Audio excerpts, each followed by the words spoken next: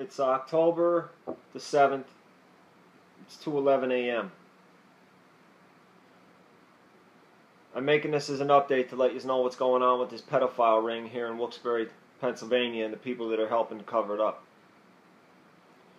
Jesus Christ, my Lord and Savior, He died on the cross for my sins, ascended to heaven, and sits at the right hand of the Father. No one comes to the Father but through the Son. On Sunday, I went to a store. I pulled in. Liz and her father came down the street. I left. I wouldn't even get out of the truck because if I was in arm's length of him, I would have been in jail right now. I will not hide who I am. I don't lie. And right now I'm having a problem with anger. This dude deserves. I know we're taught that they deserve mercy. This dude needs to get his head cut off. He's a pagan, child molesting piece of dirt who hurt my son and my wife. The evidence is overwhelming. Unbelievable. So, I mentioned before there was a lady that Liz told once John is the best father I have ever seen. I've never seen somebody love their child so much. I wish I was half as good as him. I get jealous sometimes at how good he is with the kid. And I told Liz for the past month, I've been telling her, this is what you are up against. Like everything that I have seen, all the notes that I have, the baby coming home high, the baby pissing his pants because his Uncle Jimmy picked up a stick, coming home with gashes in his head this big. The day I asked him, Liz started a fight to stay at her house and ended up over her junky next door neighbor's house, who, when she first moved in, would turn on the bath water to cover up these children screaming. Liz found out that they got high, and all of a sudden, they're good people. I found out Liz, she stayed at her house. She started a fight with me for no reason and went to her house. The next day I went and saw them. I asked Eli, what did you do last night? Did you watch a movie? Did a... We went over Caden's, which Liz was never even supposed to be in that house. They're junkies, drug addict, crackhead, drunks. But Liz was down there cheating on me with one of them, so. And they're also pedophiles. They get together and get high and rape little kids for their religion. My three year old son, I said, Well, what did you and Caden play? Did you play with your blocks? Like, I didn't let him know I was upset he was over there because it's not his fault. Caden's mommy was mad. He was sleeping. I said, Well, what did you and mommy and Caden's mommy do? This is my son, a three year old child. And now, anybody who's a half, half a brain, put his head down. I got to poop and shit his pants because he could not bear to look into his daddy's eyes and tell him what he endured the night before. That is a red flag that even the most untrained cop could see. But anyway, that lady, back to that lady, sorry. I told Liz, like, one of the things that's going to happen is when you go to jail at your hearing, there will be people called to testify that you said how good of a father I was. That you never, ever, ever mentioned anything because nothing happened. So the father shows up at Turkey Hill today, starts blasting me. I've been beating Liz and the baby since he was born. I've never bruised my child in my life. My instinct right now, and I'm not going to lie, I'm a Christian. I try as hard. I am non-violent. But this dude needs to get drug out of his house and beat for what he did to my kid but I'm trying to handle it like a normal human being and to go to the cops. But the cops are useless. He told the lady at Turkey Hill, I've been beating Liz and baby since he was born, except the only time that a kid ever got bruises was when he came home from Grandma and Grandpa's house. When his Uncle Jimmy picked up a stick and he peed his pants on his third birthday, the day we're supposed to be celebrating the joy of our life, my son got so scared he pissed his pants because his uncle, that I believe is Liz's child from her father, picked up a stick. My three year old son on his third, Elijah, on his third birthday. He told her that I smashed all the windows out of my truck. Now, Liz had a truck, it was mine. I gave it to her. Just use it whenever you want. Do it's yours. She used it to run drugs and drive around high with a two year old, three year old child in the truck and the windows never got smashed out of it. Like it's not even like he's basing any of his bull on fact. He's just making up stories. Now, here's the best part I almost died a couple months ago. I blew up, an explosion, tank blew up. He told her I exploded myself on purpose. And the only reason he went to this lady and said this stuff is because he knows that she, he, she could do damage to Liz's credibility. Right there. So that's what he did. They are actively, and it's my own fault because I gave them time because I tried to save my wife because my wife is a victim. I still believe she sleeps with her father to this day because he has that much control over her with drugs. So I go to the FBI today. Get all the way to Scranton, go to walk in, there's two U.S. Marshals. What do you want? I said, I want to see an agent. Oh, no, no, no, no. You got an appointment? What do you mean I have an appointment? My taxes pay their salary. They're here to protect me and my family. I want to see one. No, no, no, no. We'll have one call. Gave me the number I called, and I made sure the marshals heard me. The guy got on after about four minutes of me waiting.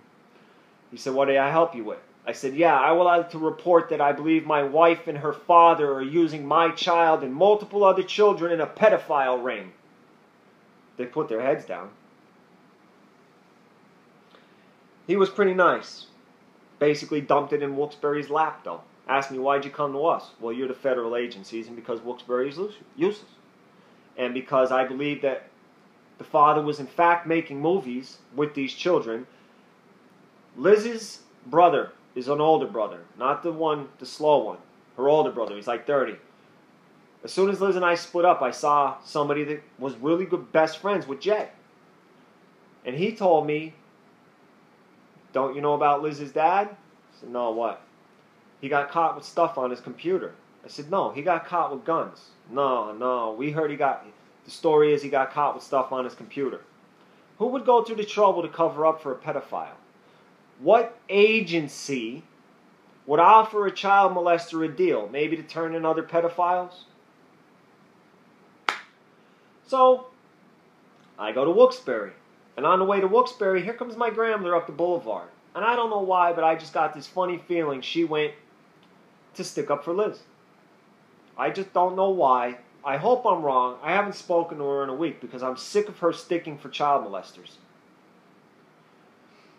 She just can't wrap her mind around it. It can't be happening. Ended it, ended it. No, it is no longer denial. You are actively supporting people that rape babies. So I sit and talk to the cop. The cop's last name just happens to be as the same as my wife.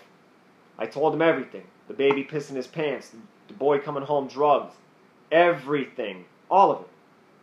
Well, we'll take, we'll, this, I'm going to start an incident report and I will forward this to the cop, the detective that handles sexual cases. I might have walked, I should have just walked in there and said, I saw somebody steal a Snickers bar. I told you my son was raped. I told you that there is multiple other children that are being raped. And if somebody would just do their job and go interrogate one of these retards, that's all they are. They are brainless, soulless scum. They use little children like a sex toy, including my wife. My wife tried to sell me a visit with my child for a Suboxone.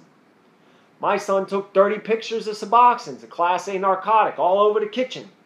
Mommy of the year, though. He told me go to Children and Youth. Children and Youth are useless. When I started to talk to Liz about the abuse behind my back, I just found this stuff out. Liz started going to all these agencies. She's a victim of this. She's a victim of that. This, because she knew I'm going to find enough evidence, and when I walk in there, if they say, oh, you're the one that beat your wife and kid, all it would look like is a retaliatory attack. That's how smart. And because I loved her and just didn't pounce on it, she manipulated the hell out of me. So the cop takes all the information. Oh, we'll open an incident report. And, well, where did this take place? This might be Plains. And maybe it's state police territory because they don't want it. And I want to know if you go to in the sit to a cop, aren't they supposed to tell you if they're viewing it? Like if it's being recorded somehow? Like a watch? Like one of them smart watches or something? Aren't they supposed to tell you this interview is being recorded?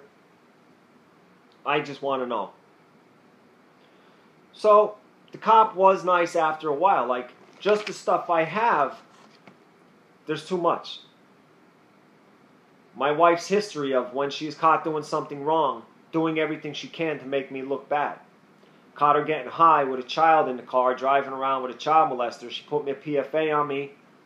Then she dropped the PFA and went to rehab because she was guilty. But her instinct is attack back, make him look bad, protect yourself, protect yourself.